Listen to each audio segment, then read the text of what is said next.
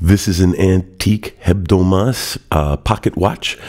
It is a very beautiful example. There are quite a few of these out. The company uh, made these at the beginning of the last century, and um, there are actually some more modern pieces from the company uh, who has on and off made uh, wristwatches today uh, based on the design cues of this watch. If you notice, um, it has a very nice open balance wheel, and it says eight days in two languages on the front of the watch.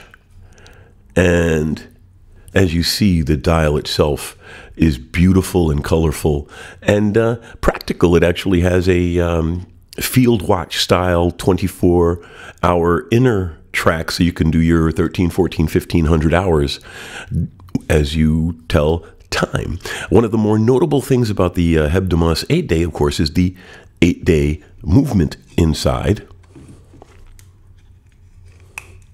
And it is a Breguet designed 8 day movement with a massive barrel. As you see, this is the whole thing is the watch barrel.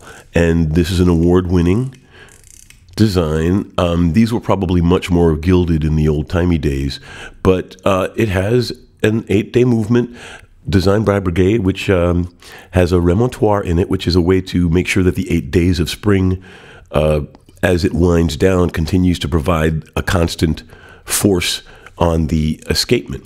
So, all in all, it is a beautiful pocket watch, an excellent representative of a time gone by where uh, mechanical watches were king and a gentleman would carry a nice pocket watch.